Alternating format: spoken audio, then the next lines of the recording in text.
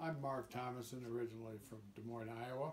I even have some deals back there, but I've been in Colorado since 1966, and I've been a licensed broker since 1968. All right. So, in your words, what's the difference between more standard forms of real estate brokering and exchanging?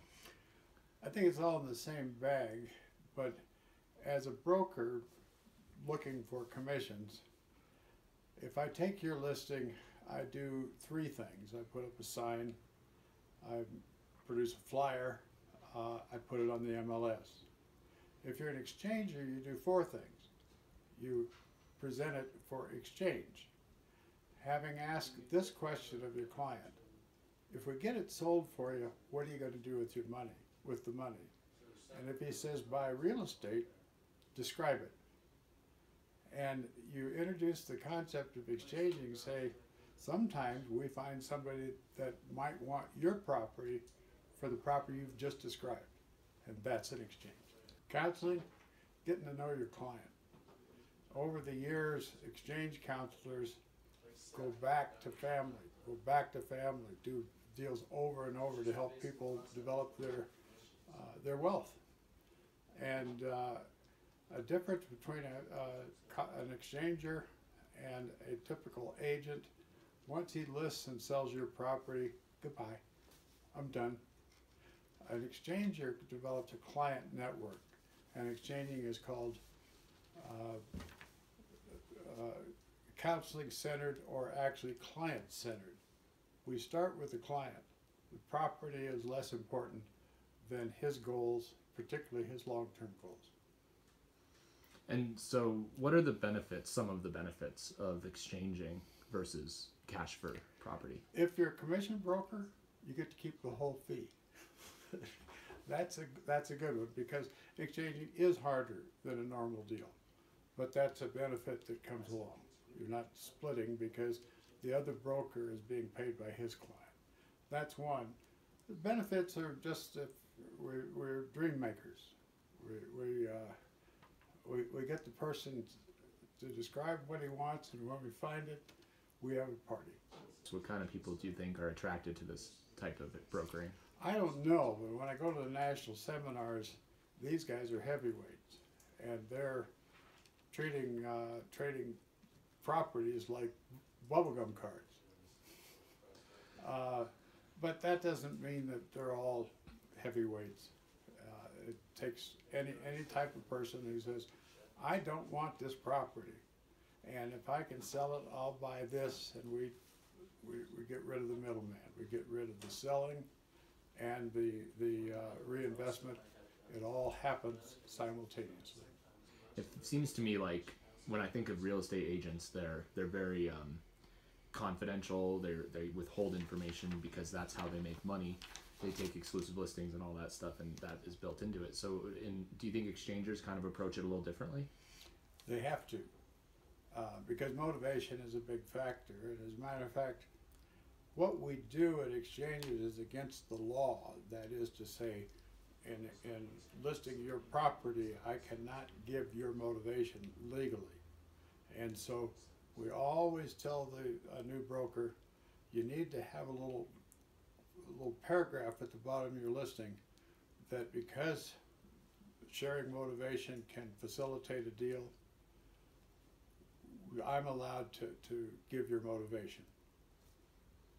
And that is, I'm, I'm released from breaking the law the, the end game is to get your client exactly what they want more That's right. efficiently. Okay. That's right. Sometimes we're surprised what our clients will do. Uh, they give a narrow perspective, and all of a sudden they look at a bunch of what we call mini offers, where, where I make a presentation of the other brokers write mini offers, and I take that to my client. And he'll say, I t- I'll look at this one, I'll look at this one, I'll look at this one. And we, they broaden their perspective, uh, and we get to know them better. Why do you think it's um? Why do you think it hasn't like caught on as much as it sh- maybe should have? It's not. It's doesn't been seem. there forever. It'll never go away.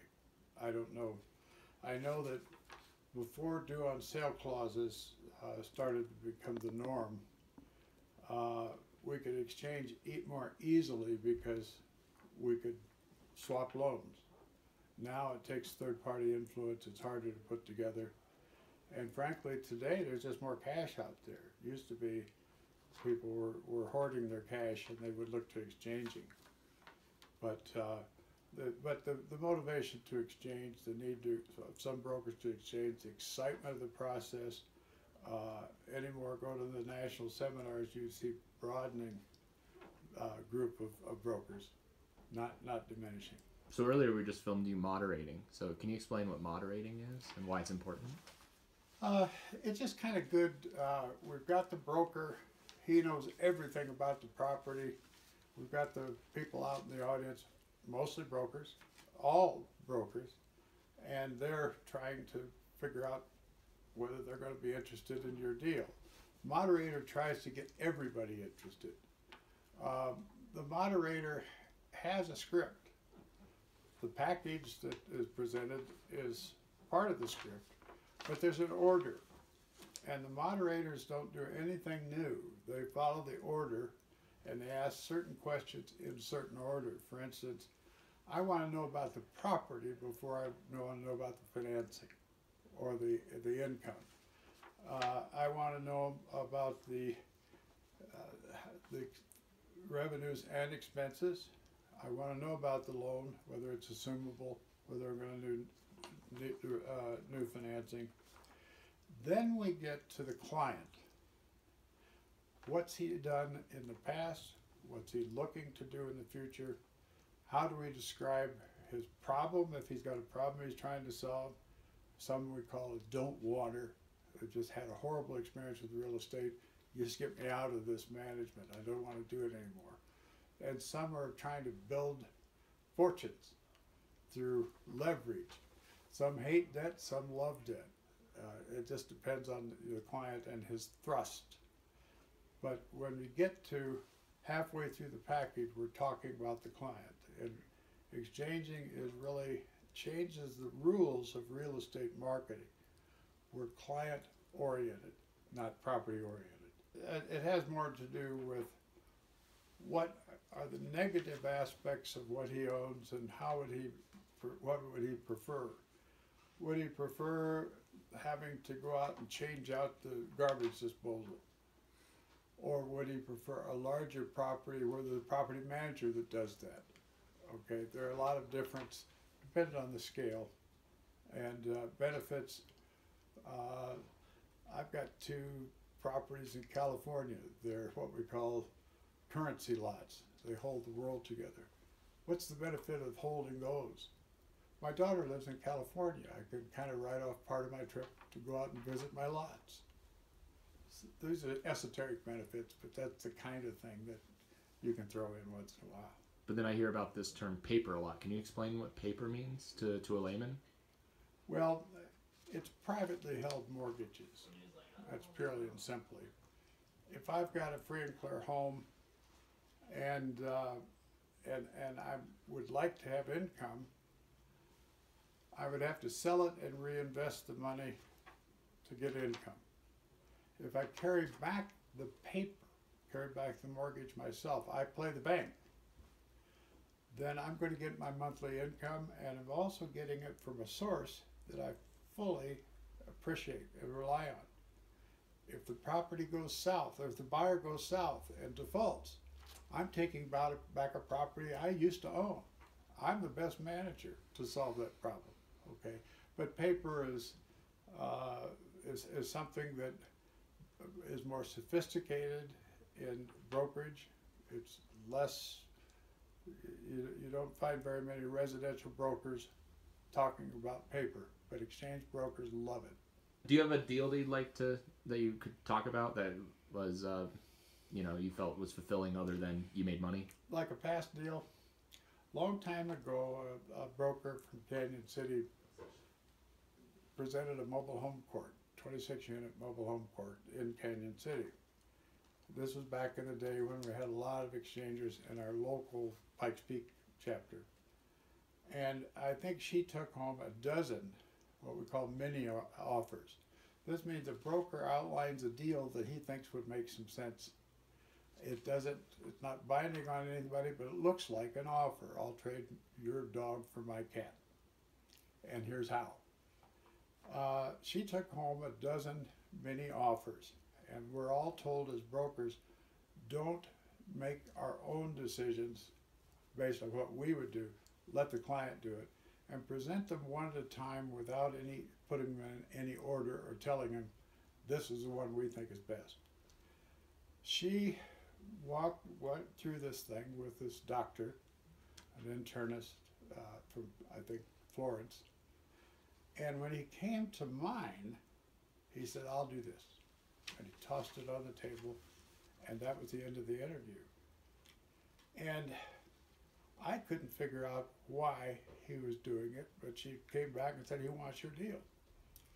It was a condominium in a ski area near near uh, near Lake Dillon, Keystone. And the highest best use of a condo is once the baby pictures are gone, now you give, show your condo. They all lose money. It's like a like a sports team. You make it when you resell it. In the meantime, you're just writing checks, writing checks. And so I was under contract to take this condominium, and I was hoping I could exchange it before the the, the dues were having to be paid. And he, on the other hand, had purchased the mobile home court without telling his wife Doris or talking about it. Came home and said, I bought it today and I, I want you to run it. And she said, What? And she was a very uh, uh, posh, well groomed lady, and, and this was a low rent uh, thing, and she hated it. And every time she came home, having talked with a, client and had a problem there in the mobile home court, doctor the doctor would say, "Now, Doris, we can't really just let it go because it's a big part of our of our net worth, but someday we'll sell it and use that money to buy the condominium you've always wanted in Lake Dillon." And we closed. That was a great idea. You sometimes you learn something from your client. Uh, once he got the condominium, uh, it had a loan on it. You can't get very good write-off on a condominium loan. Their house was free and clear. You could get good write-off on a house. So he borrowed money on the house to pay off the condominium. It helped his tax position. I learned something that day. Well, I have one more question for you, and I asked everyone this as the final question. Do you like your job? I love it. Why? Oh, it's every day is different, and uh, you sink your teeth into a property. Uh, may take you out of the state, may take you out of the country, but I love it. I've had properties, you know, in several states here. I even had a property once in Nova Scotia. I love going to Nova Scotia.